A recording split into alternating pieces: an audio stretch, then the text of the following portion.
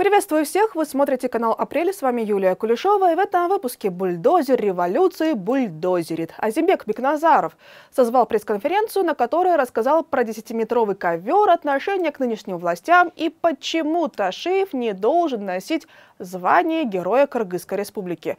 Будет еще про кому в Кыргызстане жить хорошо и даже позитив будет, не переключайте.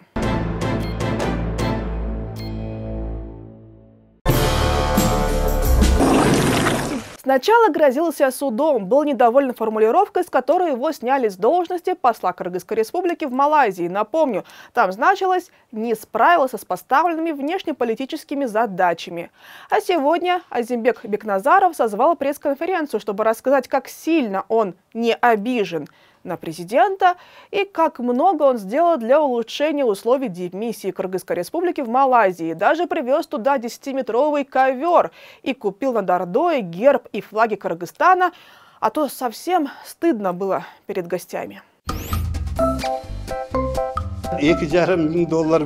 Одна соотечественница из Индии оказала финансовую помощь, выделив две с половиной тысяч долларов. На эти деньги мы на Дордое закупили флаги, герб, картины Манаса и других героев. Доставляли не через кого-то, а перевозили сами в чемоданах. Здание мы с трудом сами покрасили. Работали наши сотрудники, студенты помогали. Так мы привели наше посольство в более или менее приличный вид.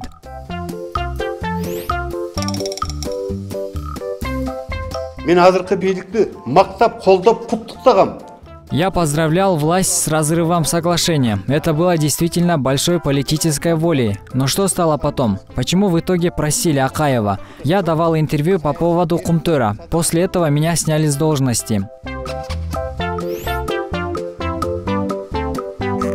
отуз жылда кыргызстанда отуздан ашык баатырлар бар Чиновники, получая зарплату за свою работу за 30 лет, разрушив Кыргызстан, как сегодня могут называться батырами? Разве это батыр? Ахаевские батыры, Бакиевские, Отумбаевские, Атамбаевские есть. Есть батыры Садыра Нургоджоевича. Среди этих президентских батыров, по-моему, самый настоящий батыр – это батыр моего друга Соке, Атамбаев. Даже если он в тюрьме, нравится кому-то его позиция, не нравится, он все равно борется. Остальные батыры, например, Апас Джумагулов, кем он был? Солдата Махаева был. Человек в Хумторе сейчас Батыр Садыра Нургоджоевича. Давать звание Героя Кыргызской Республики тому, кто на госдолжности, неправильно, потому что они и так должны работать во благо народа.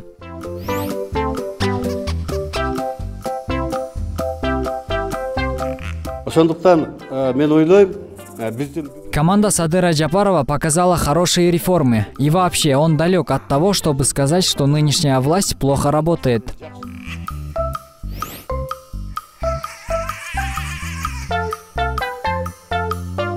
баягы былтыр жыйырманчы жылдан кийин мекенчил садыр менен бийликке келген мекенчилдер жок алардын ордуна пкасчылар ээлеп алды мен аттарын атабай эле койгон өзүңөр жакшы билесиңер эсептеп бергиле алар мурдагы бийликтердин шопурунун шопуру болуп жүргөн ой тиги мурдагы президенттерге тим эле ой ваш бир жери айрылгыча кыйкырып жүргөн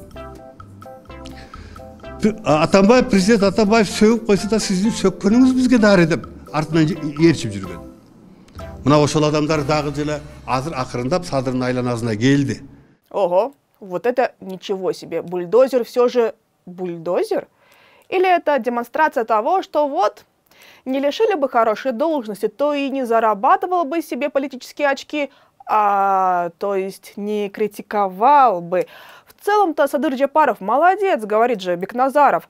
Но вот те, кто в его окружении, не так, чтобы очень. А как же я? Малыш, ведь я же лучше. А парламент этого созыва Бекназаров в принципе похвалил. Сказал, что более старшие депутаты должны учить младших, как правильно работать. Походу уже научили. И чай и пай пить, крутиться куда надо и кому надо.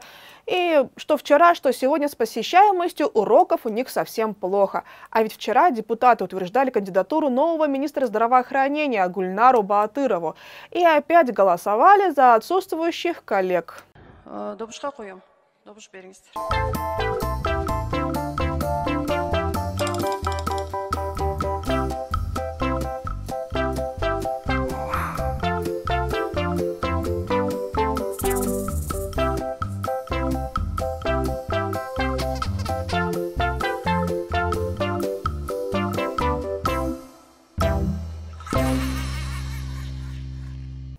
Про нового министра здравоохранения. Как пишет Factcheck.kg, ее основным местом работы последние лет 10 была не какая-нибудь там больница или что-то из области здравоохранения, а Центральная избирательная комиссия. Но вообще по образованию она медик.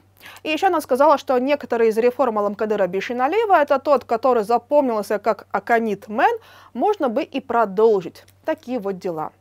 А сегодня в первой половине дня на заседании парламента присутствовало всего 25 депутатов из 90.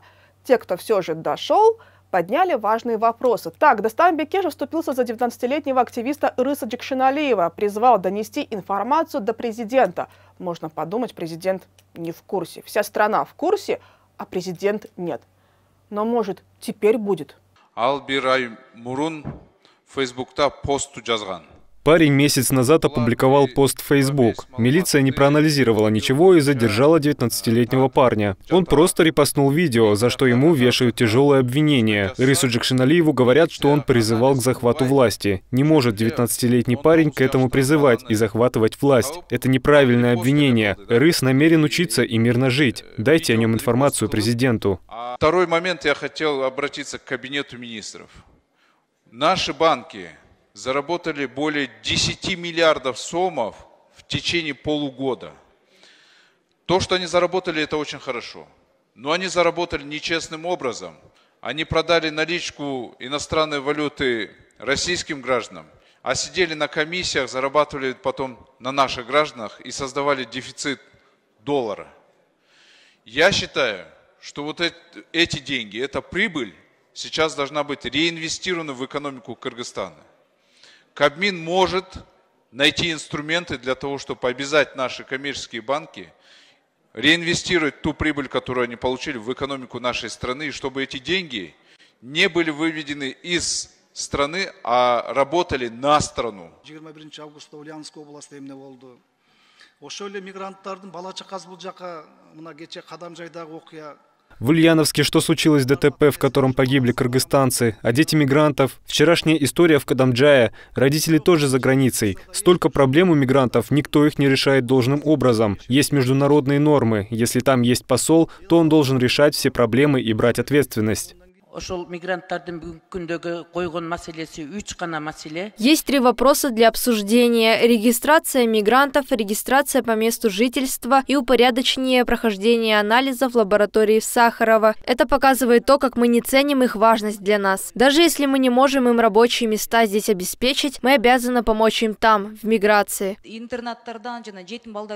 Ежегодно по 300-400 воспитанников выпускаются из детских домов. Строим дома правоохранителям сотрудникам ГКНБ, таможенникам и другим. Воспитанники детдомов остаются на улице после окончания школы. Прошу обратить внимание на этот вопрос и построить в Бишкеке и Аше несколько домов для детей, оставшихся без попечения родителей. А в селе Берлик Тюбского района просят построить новую школу и детский сад. Действующая школа в аварийном состоянии. Есть заключение комиссии о том, что там нельзя учиться.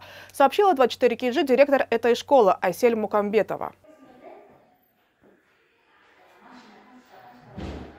Полы покрываются грибком и плесенью, гниют. Фундамент осел, есть большие трещины на стенах, в окнах много щелей. Зимой холодно. Обращались к президенту по поводу строительства дошкольного учреждения. Приходило письмо от Минобразования, что вопрос рассмотрят в этом году. Однако не выполнили. Проектно-сметная документация школы и детского сада готова. Для них выделены участки. Просим финансирования. Каждая десятая школа в Кыргызстане признана аварийной, но дети продолжают в них учиться, потому что ну а что делать, если школ не хватает? Тем временем в Аше завершено строительство 240-квартирного дома для сотрудников милиции, рассказал Садыр Джапаров на заседании Совета министров внутренних дел СНГ и подчеркнул, что государство и дальше будет улучшать материальное и социальное положение сотрудников органов, потому что служба и опасна, и трудна. Милиция нас всех бережет, обеспечивает права, свободы и законные интересы граждан, создает условия для мирной, безопасной безопасной и стабильной жизни в стране. В рамках реализации мер по цифровизации в общественных местах установили 2141 видеокамеру. Из них 200 видеокамер отслеживают криминогенную ситуацию в стране в онлайн-режиме через единый центр оперативного управления. До конца года запланирована установка еще более 240 видеокамер. Создано отделение по информационно-техническому обеспечению и борьбы с преступлениями в сфере IT-технологий. А для ГКНБ построено 50 зданий и приобретено 100 автомобилей. Это сам Камчбек Ташиев на днях сказал. И тоже пообещал укреплять и продолжать. Укреплять и продолжать. Вчера вот снова укреплял и продолжал ленточки перерезал, открыл на Исыкуле новый медпункт и новое футбольное поле для ГКНБшников. О том ведь играть-то негде. Видео нет, только фоточки. На торжественной церемонии открытия помимо героя Кыргызстана были полпред президента Алтынбек Сулайманов, мэр Каракола Эрмат Джумаев – Эх, вот кого надо было ставить министром образования или здравоохранения. Столько бы школ и больниц понастроил в рекордные сроки и средства бы нашел. Не из госбюджета, так хоть за деньги каких-нибудь спонсоров. За чей счет построены именно эти, медпункт и футбольное поле, не сообщается. Но ранее на портале госзакупок были тендеры от дирекции Фонда развития Иссыкульской области на строительство медпункта для ГКНБ за 14 миллионов сомов и на футбольное поле за 1 миллион сомов. И что еще приобретал Фонд развития Иссыкульской области для ГКНБ, мы рассказывали в нашем расследовании. Вот отрывок. На нужды чекистов за последние пять лет Фонд развития Иссыкульской области потратил почти 50 миллионов сомов. Причем большую часть из них, 21 миллион, только за 2021 год. Суммарно это более полумиллиона долларов. Для районных управлений ГКНБ по Иссыкульской области Фонд развития покупал ковры и дорожки с шелковым ворсом, холодильники, стиральные машины, плазменные телевизоры, люстры, офисные пятигоршковые, машину ВАЗ-Нива белого цвета, столы и кресла для руководителя, фотоаппарат с видеокамерой, журнальный стол стеклянный, кровать, мягкую мебель «Париж», цвет коричневый, тройка, а еще ремонтировал здания, столовые и залы для тренировок чекистов, строил станцию для обслуживания и мойки автотранспорта транспорта управления ГКНБ. Затраты на чекистов возросли в 2021 году, когда фонд начал строить жилые дома для них. А еще мы рассказывали, еще в ноябре прошлого года рассказывали про единственный на весь Тюбский район рентген-аппарат. Единственный на 65 тысяч населения этого района. Весной этого года рентген-аппарат совсем умер, потому что совсем старенький был, проработал более 35 лет, героически прошел пандемию и все же умер. Сейчас вопрос приобретения нового рентгеноаппарата находится на стадии переговоров. Такая вот затяжная стадия. Но, надеюсь, все же вопрос решится положительно. Ну и к позитиву. Глава Кабмина Акылбек Джапаров открыл новый детский сад в столичном микрорайоне Джал. Здание рассчитано на 140 мест.